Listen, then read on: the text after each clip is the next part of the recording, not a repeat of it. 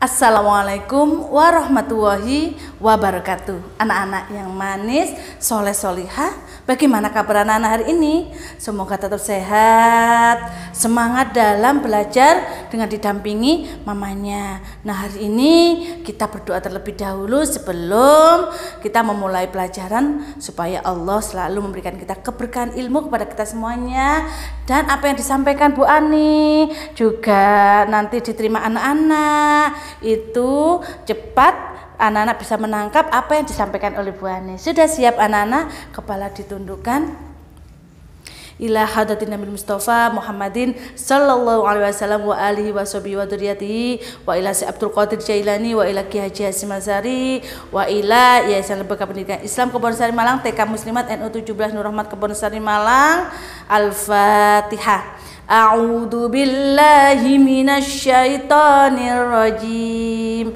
Bismillahirrahmanirrahim. الحمد لله رب العالمين الرحمن الرحيم مالك يوم الدين إياك نعبد وإياك نستعين اهدنا الصراط المستقيم صراط الذين أنعمت عليهم غير المغضوب عليهم ولا الضالين رب اغفر لي ولوالدي وللمؤمنين آمين Kita lanjutkan dengan doa mau belajar. Bismillahirrahmanirrahim. Raditu billahi rabba wa bil islami dina wa bi muhammadin nabiyya wa rasula rabbi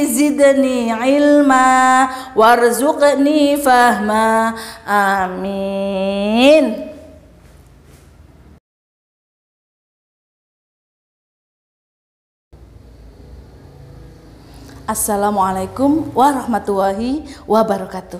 Anak-anak hari ini bersama Bu Guru kita belajar menghafal surat Al-Falaq uh, ada uh, ayat 1 sampai 5. Nah, anak-anak sudah siap ya? Oke, siap. A'udzu billahi minasyaitonir rajim. Bismillahirrahmanirrahim. Qul a'udzu birabbil falaq min syarri ma khalaq wa min syarri ghasiqin idza waqab wa min syarri naffatsati fil 'uqad wa min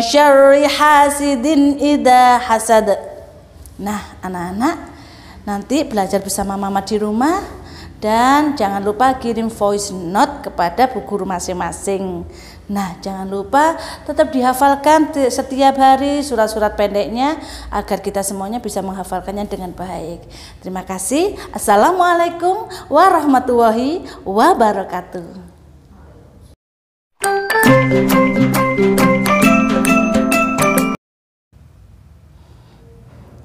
Nah anak-anak hari ini hari Senin bertemu dengan Bu Ani. Kita hari ini bersyukur kepada Allah karena matahari ciptaan Allah sudah bersinar di pagi hari ini. Nah anak-anak tugas kalian hari ini hari Senin yaitu menghiasi matahari ini dengan apa ya?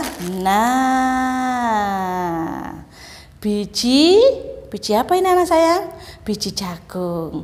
Kita mulai ya.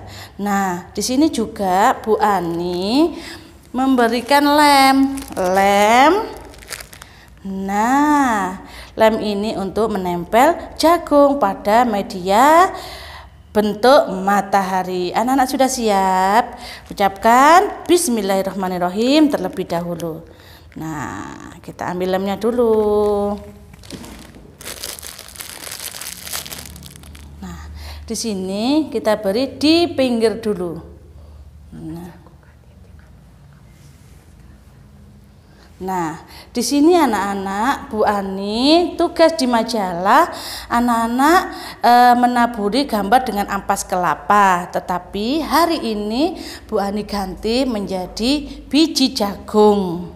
Ya, nanti eh, anak-anak bisa e, menghias dengan taburan kelapa, tetapi dengan tugas di rumah. Tapi kali ini tugas menabur dengan ampas kelapa diganti dengan biji jagung. Siap? Bismillahirrahmanirrahim. Kita tempel. Nah, kita lem terlebih dahulu. Kita tempel lagi.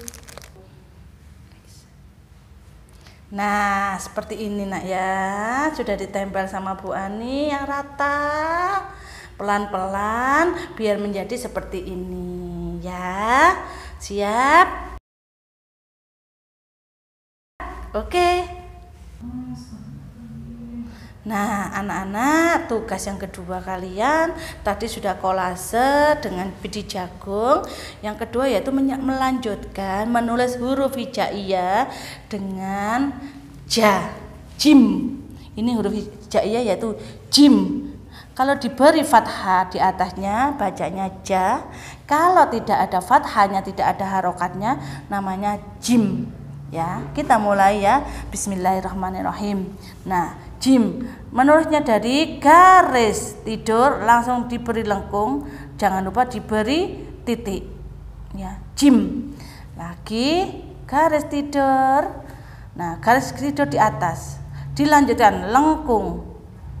Nah Jim. Nah lagi. Oke? Jangan lupa baca bismillah sebelum memulai kegiatan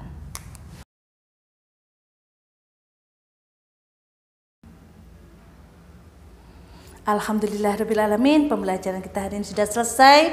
Semoga ilmu kita menjadi manfaat barokah buat kita semuanya. Dan anak-anak pesan Bu Ani Tetap berada di rumah. Dengan belajar di rumah bersama mama Tetap semangat menjaga kesehatan. Dan jangan lupa memakai masker bila keluar rumah.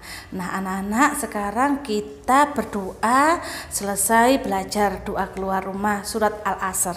Sudah siap ya anak-anak ya بسم الله الرحمن الرحيم والعصر إن الإنسان لفي حسر إلا الذين آمنوا وعملوا الصالحات وعملوا الصالحات وتواصوا بالحق وتواصوا بالصبر Anak-anak sudah selesai Tetap semangat dan jangan lupa belajar di rumah. Assalamualaikum warahmatullahi wabarakatuh.